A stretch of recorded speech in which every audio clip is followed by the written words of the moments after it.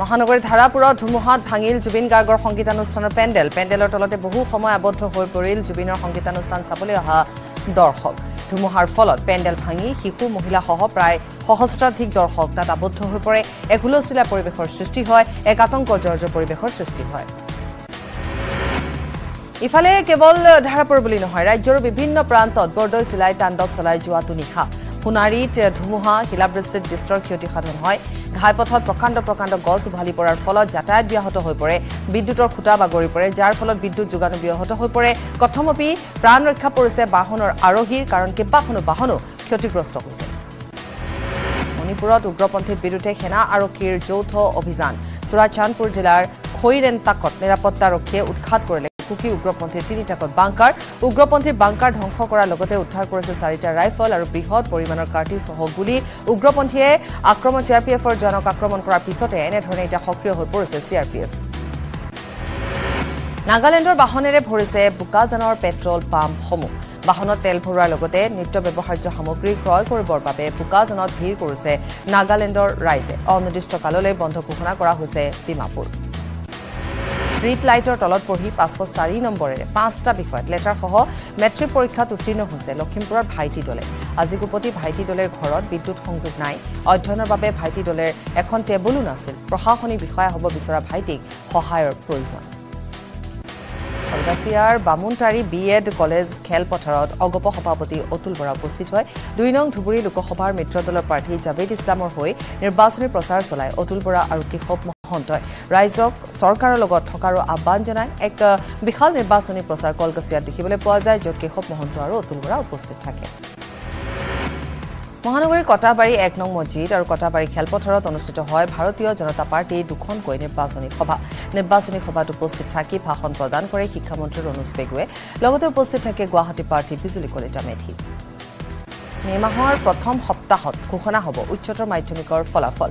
গুৱাহাটীত এই কথা ঘোষণা কৰে শিক্ষামন্ত্ৰী ডাঃ ৰণোজ পেগুৱে উচ্চতৰ মাধ্যমিকৰ ফলাফলক লৈ উৎকণ্ঠিত পৰীক্ষাৰ্থীসকল।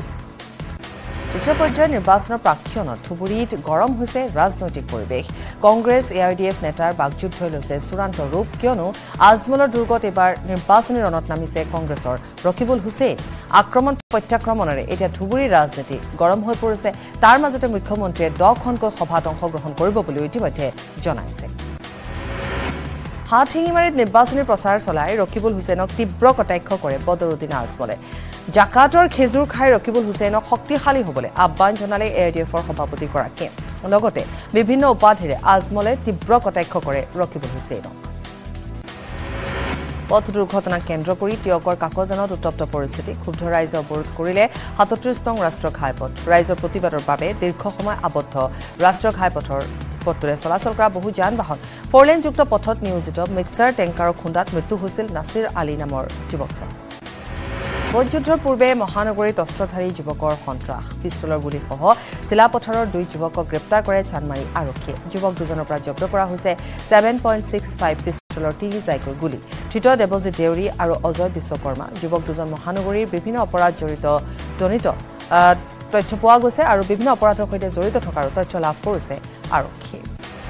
জালনোট সৰবৰাহৰ গোচৰত পূৰ্বেও তেজপুৰত গ্ৰেপ্তাৰ হৈছিল দুগৰাকী যুৱক। পূৰ্বে চানমাৰী আৰক্ষীয়ে গ্ৰেপ্তাৰ কৰিছিল।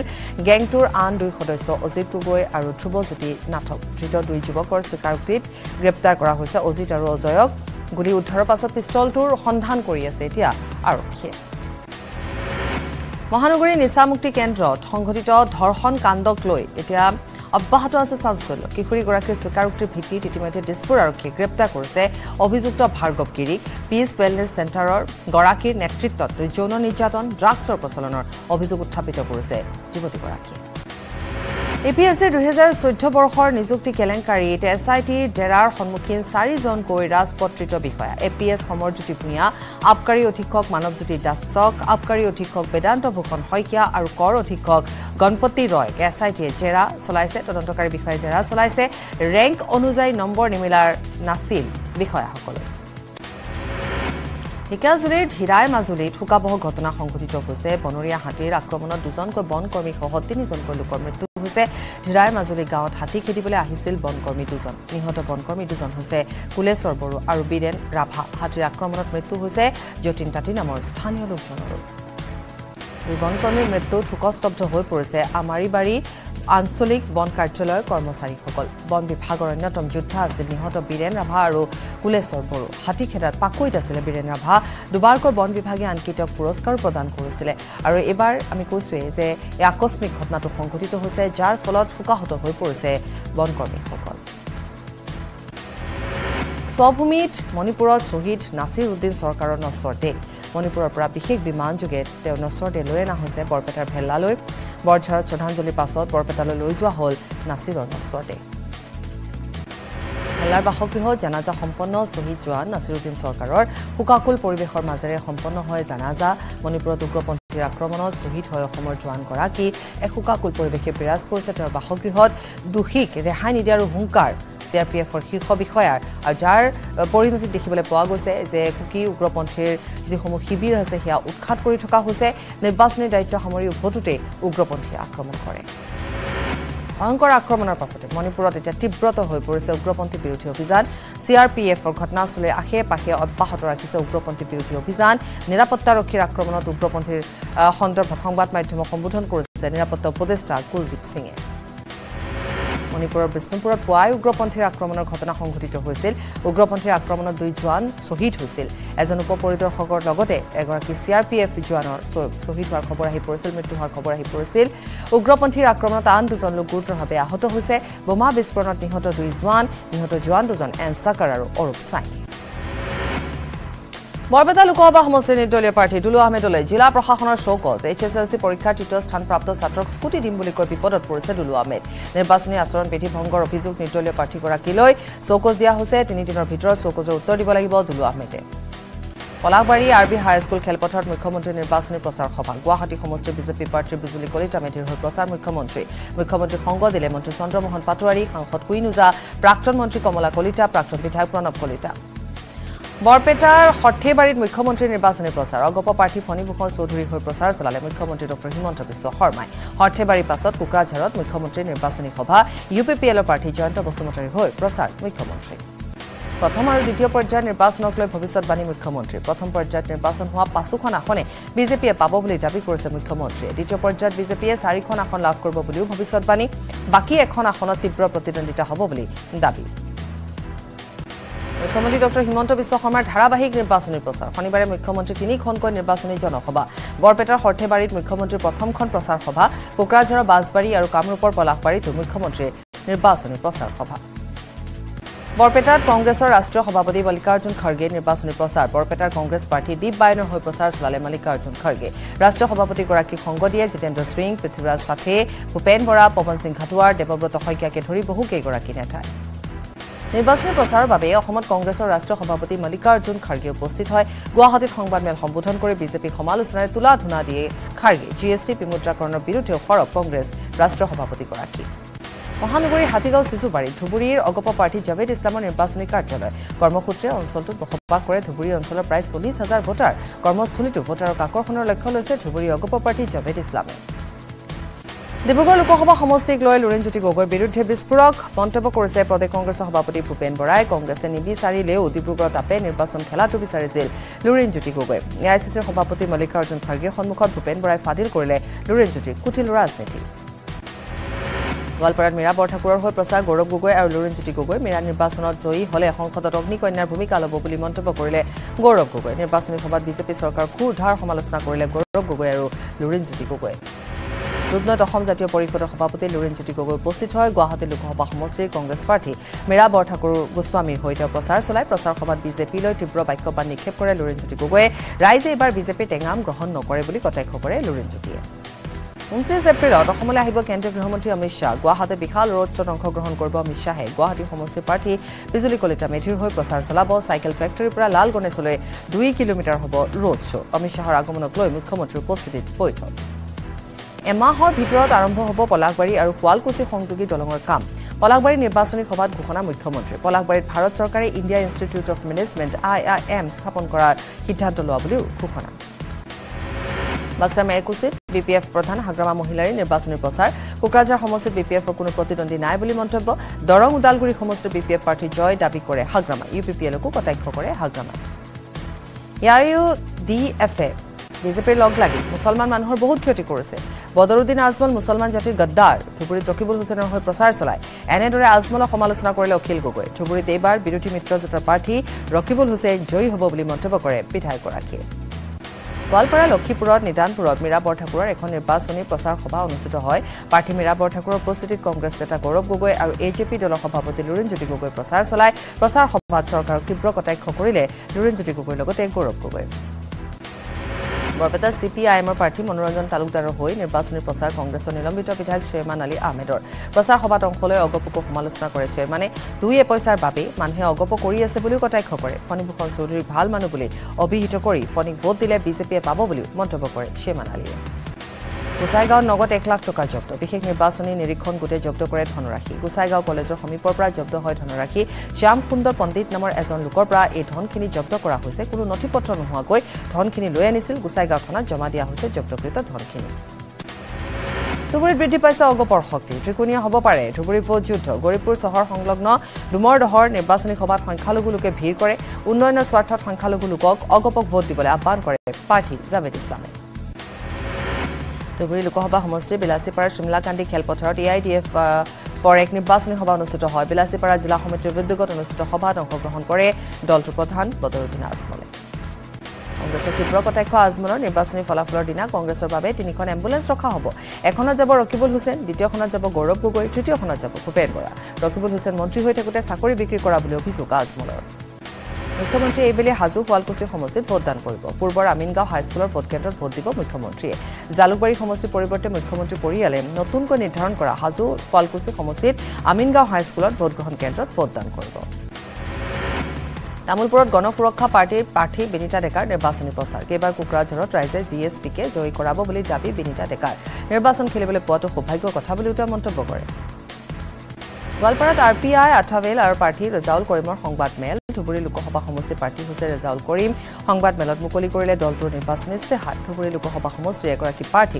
মিয়াৰ ত্ৰাণকৰ্তা আখ্যা ৰেজাউল কৰিমৰ ত্ৰিপুৰাত ভোটদান চলি থকাৰ মাজতে নিৰ্বাচনৰ আচৰণ উলংঘাৰ অভিযোগত ছাব্বিছগৰাকী নিৰ্বাচনী বিষয়াক নিলম্বন কৰা হয়। ভোটকেন্দ্ৰত ভোটাধিকাৰে ভোট দিবলৈ অহাৰ সময়তে সহযোগ নকৰাকে ধৰি কেতবোৰ অভিযোগ উত্থাপন হৈছিল বিষয়াকেইগৰাকীৰ বিৰুদ্ধে।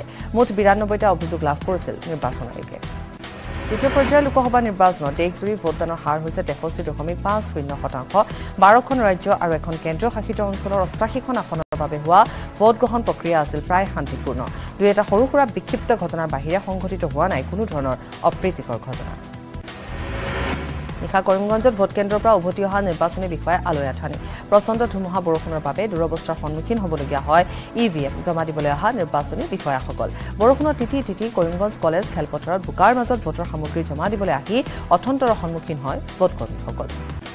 প্ৰিয়ংকাৰ বিৰুদ্ধে ৰায়বেৰেলী যুঁজত নানামে বৰুণ গান্ধী। বিজেপিৰ পৰিকল্পনা নাকচ কৰিলে বৰুণ গান্ধীয়ে। দল বেলেগ হলেও ভগ্নী প্ৰিয়ংকাৰ সৈতে থকা মধুৰ সম্পৰ্কৰ বাবে ৰায়বেৰেলীত নিৰ্বাচনী খেলিবলৈ আগ্ৰহী নহল বৰুণ। বিপৰীতে নাম ঘোষণা নহলেও ৰায়বেৰেলীৰ বাবে সাজু হৈছে প্ৰিয়ংকা গান্ধী।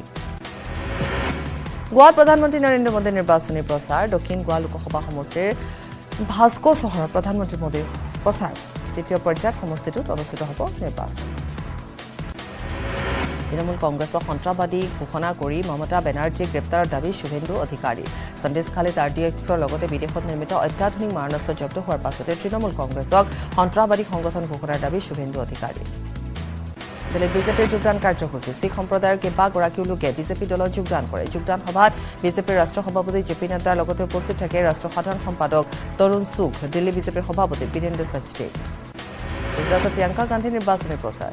বলছাদত এখন ৰাজহুৱা সভাত অংশগ্ৰহণ কৰে কংগ্ৰেছৰ ৰাষ্ট্ৰীয় সাধাৰণ সম্পাদকগৰাকীয়ে নিৰ্বাচনী সভাৰ পৰা বিজেপিক সুৰধাৰ সমালোচনা কৰে প্ৰিয়ংকা। চৰকাৰৰ দৰ্পণ পৰ্টেল যোগে নামভৰ্তিৰ নামত ব্যাপক খেলিমেলিৰ অভিযোগ। দৰ্পণ পৰ্টেলত নামভৰ্তিৰ নামত মাধ্যমিক শিক্ষা পৰিষদে ব্যক্তিগত বিদ্যালয়ৰ পৰা লাখ লাখ টকা সংগ্ৰহৰ অভিযোগ। সংবাদমেল যোগে অভিযোগ তুলিছে। পৰিৱেশ নামৰ স্বেচ্ছাসেৱী সংগঠনটোৱে। মৰিয়নী দুৰ্ঘটনাত মৃত ব্যক্তিৰ নামত অধিবক্তাৰ ভয়ংকৰ জালিয়াতি। অধিবক্তা পাৰ্থজ্যোতি গগৈৰ বিৰুদ্ধে গুৰুতৰ অভিযোগ উত্থাপিত হৈছে। মৃত অধ্যাপক তিলেশ্বৰ ফুকনৰ জীৱন বীমাৰ ধন এম এছ চিটিৰ আবেদনৰ নামত জালিয়াতি। দুহেজাৰ ঊনৈছ চনত পথ দুৰ্ঘটনাত মৃত্যু হৈছিল অধ্যাপকগৰাকীৰ। ৰঙাপাৰাত অগ্নিকাণ্ড জুইত জাগ গ'ল এটি বাসগৃহ। ৰঙাপাৰাৰ ঢেলাপাডুং চাহ বাগিচাৰ দুই নং চাহ বাগিচাত সংঘটিত হৈছে উক্ত অগ্নিকাণ্ডৰ ঘটনাটি। অগ্নিকাণ্ডত লক্ষাধিক টকাৰ সা সামগ্ৰী নষ্ট হৈছে। খবৰ দিয়াৰ পাছতো অগ্নি নিৰ্বাপক বাহিনী ঘটনাস্থলীত উপস্থিত নোহোৱাত ক্ষোভ বুজাৰে ৰাইজে তিনিচুকীয়াত মৃত যুৱকক চিনাক্ত মৃত যুৱকজন শিৱসাগৰৰ বকতাৰ ৰাজ লাচিত পোন্ধৰ এপ্ৰিলৰ পৰা কচুজানৰ শুকান পুখুৰী চাহ বাগিচাত উদ্ধাৰ হৈছিল। যুৱকজনৰ অগ্নিদগ্ধ মৃতদেহ পৰিয়ালে চিনাক্ত কৰিছে। যুৱকজনৰ মৃতদেহ চৈধ্য এপ্ৰিলৰ পৰা তেওঁ নিখোজ হৈ আছে। শৰাইঘাট দলঙৰ সমীপত শোকাবহ পথ দুৰ্ঘটনাত এজন আৰক্ষীৰ মৃত্যু। ট্ৰাকৰ খুন্দাত মৃত্যু হৈছে হাবিলদাৰ জি পি চৌধুৰী। নিৰ্বাচনী দায়িত্ব সমাপন কৰি ঘৰলৈ উভতাৰ সময়তে দুৰ্ঘটনাত পতিত হয় আৰক্ষী লোকজন। ঘটনাস্থলীৰ পৰা এখন মটৰ চাইকেল উদ্ধাৰ কৰিছে। আৰক্ষীয়ে দুৰ্ঘটনা সংঘটিত কৰা দহচকীয়া ট্ৰাকখন জব্দ কৰিছে আৰক্ষীয়ে। মৰাণৰ এক নং ডুমৰ দলং গাঁৱত যুৱতীৰ ৰহস্যজনক আত্মহননৰ ঘটনা সংঘটিত হৈছে। নিশা বিহু চাই ঘৰলৈ অহাৰ পাছতে যুৱতীগৰাকীৰ মৃত্যু হয়। প্ৰেমজনিত কাৰণতে যুৱতীগৰাকীয়ে আত্মহত্যা কৰা সন্দেহ প্ৰকাশ কৰা হৈছে। আৰক্ষীয়ে উদ্ধাৰ কৰিছে মৃতদেহ। স্নাতক মহলাৰ প্ৰথম ষান্মাসিকৰ ছাত্ৰী আছিল মৃত হেপ্পী মহন। মহানগৰীৰ নুনমাটিৰ শান্তিনগৰত ড্ৰাগছ আসক্ত যুৱকৰ বাবে অশান্তি। স্কুলীয়া ছাত্ৰীক প্ৰেমৰ প্ৰস্তাৱ দি হাৰাশাস্তি কৰা অভিযোগ ড্ৰাগছ আসক্ত মুন আলীৰ বিৰুদ্ধে। যুৱকজনৰ বিৰুদ্ধে আৰক্ষীক এজাহাৰ দিয়াৰ পিছতো ব্যৱস্থা নোলোৱাৰো অভিযোগ উত্থাপন কৰিছে পৰিয়ালৰ লোকে। বোকাখাটৰ ব্যৱসায়িক প্ৰতিষ্ঠানৰ ৰাজহ ফাঁকি এম বজাৰ নামৰ ব্যৱসায়িক প্ৰতিষ্ঠানৰ বিৰুদ্ধে উত্থাপন হৈছে এই অভিযোগ। তথ্যমতে দুহেজাৰ চৌব্বিছ বৰ্ষৰ মাৰ্চ মাহতে ম্যাদ উকলা ট্ৰেড লাইচেন্সখনৰ আজিলৈকে নৱীকৰণ হোৱা নাই। সাংবাদিকৰ অনুসন্ধানত পোহৰলৈ আহিছে বহুজাতিক কোম্পানীটোৰ চাঞ্চল্যকৰ তথ্য। তিনিচুকীয়া জিলাৰ টিপং ডালাইত অপ্ৰীতিকৰ পৰিস্থিতি। বিহু হুঁচৰি গাই থকাৰ অৱস্থাত কণমানিৰ বিহু হুঁচৰি দলক টিপং সেনাই দুৰ্ব্যৱহাৰ কৰাৰ অভিযোগ। হুঁচৰি দলক লক্ষ্য কৰি অশ্লীল গালি গালাজ কৰাৰো অভিযোগ। সেনাৰ কাণ্ডত ক্ষুব্ধ হৈ পৰে স্থানীয় লোকসকল। দুলীয়াজানৰ বিধায়ক তেৰছ গোৱালা অসুস্থ। চেন্নাই এপলো হাস্পতালত চিকিৎসাধীন হৈ আছে বিধায়কগৰাকী। শনিবাৰে তেৰছ গোৱালাৰ সম্পন্ন হ'ব এক অস্ত্ৰোপচাৰ। প্ৰস্ৰাৱজনিত সমস্যাত ভুগিছে বিধায়কগৰাকী। ঢেকিয়াজুলিৰ ধিৰাই মাজুলীত পুৱাই অঘটন সংঘটিত হৈছিল। মৰ্দনীয়া হাতীৰ আক্ৰমণত যতন তাঁতী নামৰ এজন লোকৰ মৃত্যু হয়। পুৱাই কামলৈ ওলাই যোৱাৰ সময়তে ঘৰৰ কাষতে লোকজনক হাতীয়ে আক্ৰমণ কৰে। বন বিভাগ ঘটনাস্থলীত উপস্থিত হৈ মৃতদেহ উদ্ধাৰ কৰে। অঞ্চলটোৰ চাহ বাগিচাৰ মাজত মুক্ত বন্যহস্তীয়ে এনেধৰণে বিতৰণ কৰি বিচৰণ কৰি ফুৰিছে। ছত্তীশগড়ত কৰ্মৰত অসমৰ চি আৰ পি এফ জোৱানৰ আকস্মিক মৃত্যু। মৃত জোৱানজন বাক্সাৰ মুছলপুৰৰ চন্দন ডেকা। ভোটকেন্দ্ৰত নিৰ্বাচনৰ দায়িত্বত আছিল চন্দন। ছত্তীশগড়ৰ কাছিৰ কয়লক হাইস্কুলৰ ঊনচল্লিছ নম্বৰ ভোটগ্ৰহণ কেন্দ্ৰৰ পৰা ঝিটকাতলালৈ খোজকাঢ়ি গৈ থকা অৱস্থাতে অসুস্থ হৈ পৰে জোৱানজন ডিগবৈৰ পৰা বৃহৎ পৰিমাণৰ কেইবা লক্ষাধিক টকাৰ চুৰি ৰদ জব্দ কৰা হৈছে। ডিগবৈৰ এটা ডেম্পত জমা কৰি ৰাখিছিল ৰথসমূহ। ঘটনা সন্দৰ্ভত ডিগবৈ ভাস্কৰ সোণোৱাল নামৰ এজন যুৱকৰ লগতে আন এজন লোকক ইতিমধ্যে আটক কৰি ডুমডুমা আৰক্ষীয়ে তদন্ত অব্যাহত ৰাখিছে। গোলাঘাটৰ শালমৰাত অঘটন ৰেলৰ খুন্দাত গুৰুতৰভাৱে আঘাতপ্ৰাপ্ত হৈছে এজন লোক। আহত লোকজন হৰিচন্দ্ৰ তাঁতী। ঘটনাৰ সময়ত ৰেলপথেৰে খোজকাঢ়ি আহি আছিল লোকজন। মৰিয়নীত পুৱাই চাহ শ্ৰমিকৰ প্ৰতিবাদ। ডেৰ মাহে প্ৰাপ্য বেতন আৰু ৰেচনৰ পৰা বঞ্চিত শ শ শ্ৰমিকে সাব্যস্ত কৰে প্ৰতিবাদ। মৰিয়নী হুলুংগুৰি চাহ বাগিচাৰ মুখ্য কাৰ্যালয়ৰ সন্মুখত আচ্ছাৰ ভগ্নী সংগঠন আঁঠুৱাৰ সহযোগত শ শ বেতন বঞ্চিত শ্ৰমিকে প্ৰতিবাদ সাব্যস্ত কৰে। মহানগৰীৰ হাতীগাঁও আৰক্ষী জালত পৰিছে বৃহৎ প্ৰবঞ্চকৰ গেং। ঋণত গাড়ী লৈ দিয়া আৰু গাড়ী লিজত দিয়াৰ নামত চক্ৰটোৱে বহু গাড়ী বিক্ৰী কৰিছিল বহিৰাজ্যত গেংটোৰ চাৰিগৰাকী সদস্য গ্ৰেপ্তাৰ কৰাৰ বিপৰীতে আন কেইবাজনো পলাতক হৈ আছে। ঘটনা সন্দৰ্ভত অব্যাহত আৰক্ষী তদন্ত। শিৱসাগৰ কোঁৱৰপুৰ মৌজাৰ চিৰিপুৰীয়া ঘাটত দিখৌ নদীৰ ওপৰত নৱনিৰ্মিত এখন পকী দলঙৰ মাজ অংশ বহি যোৱাৰ লগতে গাৰ্ডাৰসমূহ উঠি যোৱাক লৈ তীব্ৰ প্ৰতিক্ৰিয়া অব্যাহত আছে। প্ৰায় ওঠৰ কোটি টকা ব্যয় সাপেক্ষে নিৰ্মাণ কৰা হয় দলংখন। হেলিকপ্টাৰতে ভৰি পিছলিল মমতাৰ। হেলিকপ্টাৰত উঠি বহিবলৈ লওঁতে পিছলিৰ পৰা পশ্চিমবংগৰ মুখ্যমন্ত্ৰীগৰাকী। এই ঘটনাত সামান্যভাৱে তেওঁ আঘাতপ্ৰাপ্তও হয়। কাৰাবন্দী খালিস্তানী অমৃতপালৰ হৈ ভোট ভিক্ষা মাতৃ পঞ্জাৱত সংবাদ মেল সম্বোধন কৰে ডিব্ৰুগড়ত কাৰাবন্দী অমৃতপাল সিঙৰ মাতৃ বলবিন্দৰ কৌৰে। প্ৰথম অৱস্থাত নিৰ্বাচন খেলিবলৈ মান্তি হোৱা নাছিল অমৃতপাল পৰিয়ালৰ বুজনিতহে অমৃতপালে সাজু হৈছে বুলি তেওঁ জানিবলৈ দিয়ে। সাত সাগৰ তেৰ নদী সিপাৰৰ পৰা গণতন্ত্ৰ উৎসৱত চামিল হ'বলৈ নয়দা পালেহি প্ৰৱাসী ভাৰতীয় অভিক আৰ্য। জাৰ্মানীৰ পৰা জনমভূমিত উপস্থিত হৈ তেওঁ ভোটদান কৰে। দাউদ ইব্ৰাহিমক দোষমুক্ত ঘোষণা বদৌদৰা আদালতৰ ঊনৈছশ তিৰাশী চনৰ অস্ত্ৰ আইন গোচৰত দাউদক নিৰ্দোষী ঘোষণা কৰিছে আদালতে। ঘটনাৰ তদন্তকাৰী বিষয়াজনৰ গাফিলতিৰ তথ্য উদঙালে আদালতে ইতিমধ্যে মৃত্যু সাৱটিছে ঘটনাটোৰ অভিযোগকাৰীয়ে।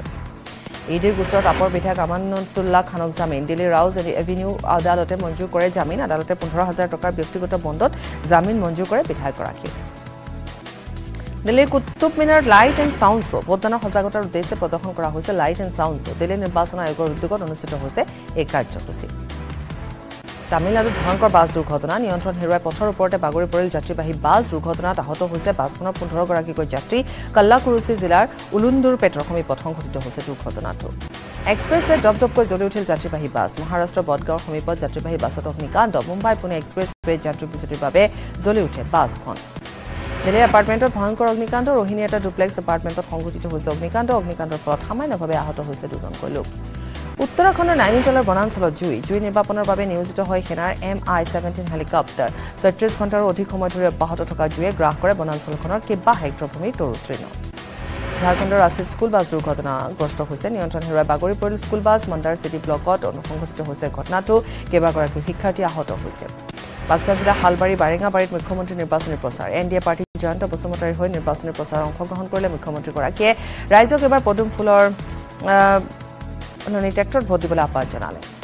বাক্সাৰ প্ৰচাৰ সভাত কংগ্ৰেছ আৰু বি পি এফক কটাক্ষ কৰে মুখ্যমন্ত্ৰীয়ে। কটা হাতৰ কাম নাই নাঙলৰ দাম নাই বুলি কটাক্ষ কৰে বিৰোধী কটাক্ষ আৰু উন্নয়নৰ খতিয়ান দি ভোট ভিক্ষা মুখ্যমন্ত্ৰী হিমন্ত বিশ্ব শৰ্মাই। বোকাজনৰ পেট্ৰল পাম্পত নাগালেণ্ডৰ বাহনৰ ভিৰ ডিমাপুৰত ঘোষণা কৰা হৈছে অনিৰ্দিষ্টকাললৈ বন্ধ। ডিমাপুৰ চেম্বাৰ্ছ অৱ কমাৰ্চ আৰু কহিমা চেম্বাৰ্ছ অৱ কমাৰ্চে ঘোষণা কৰিছে এই বন্ধ। ত্ৰিপুৰাৰ ভোটকেন্দ্ৰত মানৱতাৰ পৰিচয় দিলে চি আৰ পি এফৰ হেড কনিষ্টবল মণ্টু বৰাই।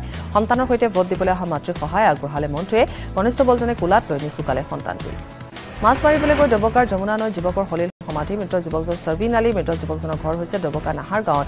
ৰাইজ আৰু আৰক্ষীৰ সহযোগত উদ্ধাৰ কৰা হয় যুৱকগৰাকীক তিতাবৰ চাহ বাগিচাত নৱজাতক উদ্ধৰক লৈ চাঞ্চল্য এই ঘটনা সংঘটিত হৈছে। তিতাবৰ টাইৰুণ চাহ বাগিচা অঞ্চলত জীৱিত অৱস্থাতে স্থানীয় লোকে প্ৰত্যক্ষ কৰে নৱজাতকটি দিল্লীৰ উত্তম নগৰত সুৰা পাই লোকৰ গুণ্ডাগিৰি। ভাইৰেল হৈ পৰিছে মাজপথত এদল লোকে সুৰা সেৱন কৰা ভিডিঅ' দিল্লী আৰক্ষীক ব্যৱস্থা গ্ৰহণৰ দাবী তুলিছে স্থানীয় ৰাইজে। দেশজুৰি তুংগ তৃতীয় পৰ্যায়ৰ নিৰ্বাচনী প্ৰচাৰ দেশৰ দহখন ৰাজ্য আৰু দুটা কেন্দ্ৰ শাসিত অঞ্চলৰ চৌৰান্নব্বৈটা লোকসভা সমষ্টিত হ'ব তৃতীয় পৰ্যায়ৰ নিৰ্বাচন। ওড়িশাৰ সম্বলপুৰত কেন্দ্ৰীয় মন্ত্ৰী ধৰ্মেন্দ্ৰ প্ৰধানৰ প্ৰচাৰ পদযাত্ৰাৰ লগতে কাৰ্যকৰ্তা সন্মিলন অনুষ্ঠিত কৰি নিৰ্বাচনী প্ৰচাৰ সমষ্টিটোৰ প্ৰাৰ্থী ধৰ্মেন্দ্ৰ প্ৰধানৰ। প্ৰচণ্ড গৰমে দেখিছে ত্ৰিপুৰাবাসীক মুখ্যমন্ত্ৰীৰ নিৰ্দেশত ৰাজ্যখনৰ ভিন্ন প্ৰান্তত বিতৰণ কৰা হৈছে শীতল পানী আৰু তৰমুজ। দুধনত উপস্থিত হৈছে নষ্টালজিক লুৰিণজ্যোতি গগৈ অতিথি মন্থন কৰি আৱেগিক হৈ পৰে অসম জাতীয় পৰিষদৰ সভাপতিগৰাকী। দুহেজাৰ পোন্ধৰ চনত দুধনৈৰ একেখন খেলপথাৰতে সদৌ অসম ছাত্ৰ সন্থাৰ সাধাৰণ সম্পাদকৰ দায়িত্ব গ্ৰহণ কৰিছিল লুৰিণজ্যোতিয়ে পশু চিকিৎসকলে প্ৰাণজিৎ বসুমতাৰীলৈ উৎকৰ্ষ বঁটা দুহেজাৰ চৈধ্যৰ পশু কল্যাণ ক্ষেত্ৰৰ পশু চিকিৎসক বঁটা ঘোষণা কৰা হৈছে। ডিব্ৰুগড় বিশ্ববিদ্যালয়ত বিহুৰ আনন্দ নাচি বাগি আনন্দত মতলীয়া হৈ পৰিল ডাঃ ভূপেন হাজৰিকা। পৰিৱেশ কলা কেন্দ্ৰৰ চতুৰ্থ ষান্মাসিকৰ শিক্ষাৰ্থীসকল ছচিয়েল মিডিয়াত ভাইৰেল হৈ পৰিছে এই দৃশ্য। মহানগৰীৰ ধাৰাপুৰ চাৰিআলিস্থিত পশ্চিম গুৱাহাটী মহাবিদ্যালয়ত বহাগৰ এদিন কাৰ্যসূচী ৰূপায়ণ কৰা হৈছে। মহাবিদ্যালয়ৰ শিক্ষক শিক্ষয়িত্ৰীসকলে পৰিৱেশন কৰিছে বিহু হুঁচৰি। অনুষ্ঠানত মহাবিদ্যালয়ৰ ছাত্ৰ ছাত্ৰীসকলে বিহু নৃত্য গীত আদি পৰিৱেশন কৰি সমগ্ৰ পৰিৱেশটো জীপাল কৰি তোলে। গহপুৰত দৃষ্টি হৈছে এগৰাকী বিশেষভাৱে সক্ষম ব্যক্তিয়ে। তামোল গছত অনায়াসে উঠিব পাৰে যুৱকজনে। এখন হাতৰ আঙুলি নথকাৰ বাবে তেওঁ এতিয়ালৈকে আধাৰ কাৰ্ড বনাব পৰা নাই। চৰকাৰী আঁচনিৰ পৰা তেওঁ বঞ্চিত হৈ আছে। কঠোৰ পৰিশ্ৰমী মনিল গগৈ ঘৰ গহপুৰৰ জালুকবাৰীত। ডিগবৈ মৰাণ জনগোষ্ঠীৰ ডেকা গাভৰু নৃত্যত জীপাল হৈ পৰিল ডিগবৈ ৰিফাইনেৰী খেলপথাৰ। নিজস্ব ধৰ্মীয় পৰম্পৰাৰে মৰাণ জনগোষ্ঠীৰ লোকসকলে পালন কৰে ৰাতি বিহু। প্ৰতিকূল বতৰৰ কোনেও চি বিভিন্ন গাঁৱৰ পৰা নিমন্ত্ৰণ কৰা মৰাণ ডেকা গাভৰু নৃত্য জীপাল হৈ উঠে ডিগবৈ চহৰ ডিমৰীয়াৰ প্ৰথমখন ব্যক্তিগত খণ্ডৰ চিকিৎসালয় ডি আই এম এছে সম্পূৰ্ণ কৰিলে গৌৰৱ উজ্জ্বল প্ৰথম বৰ্ষ। শিশু প্ৰসূতি আৰু জৰুৰীকালীন সেৱাৰ বাবে সকলো ধৰণৰ সা সুবিধা ইতিমধ্যে উপলব্ধ হৈছে চিকিৎসালয়খনত। প্ৰতি মাহতে দৰিদ্ৰ সীমাৰেখাৰ তলৰ এগৰাকী লোকক সম্পূৰ্ণ বিনামূলীয়াকৈ চিকিৎসা সেৱা আগবঢ়োৱা হয়। গুৱাহাটী নেহেৰু ষ্টেডিয়ামত Rashmibala Tamuli B division cricket league দুহেজাৰ চৌবিছ অনুষ্ঠিত হৈছে। মুঠ আঠটা দলৰ মাজত অনুষ্ঠিত হ'ব লীগ টি টুৱেণ্টিৰ আৰ্হিত অনুষ্ঠিত হ'ব লীগৰ খেল। বিগত প্ৰায় দহ বছৰ ধৰি ৰশ্মিবালা তামুলীৰ সোঁৱৰণত অনুষ্ঠিত হৈছে ক্ৰিকেট লীগ। তামিলনাডুৰ মাদুৰাইত চিঠিৰা উৎসৱৰ আনন্দ। ভগৱান কল্লালগড় কঢ়িয়াই আলাঘৰ মন্দিৰত উপস্থিত হৈছে শোভাযাত্ৰা। শোভাযাত্ৰাত অংশগ্ৰহণ কৰে হাজাৰ হাজাৰ লোকে। আৰু ইয়াৰে সৈতে দুটা সংবাদৰ পৰা বিদায় লৈছো। নমস্কাৰ।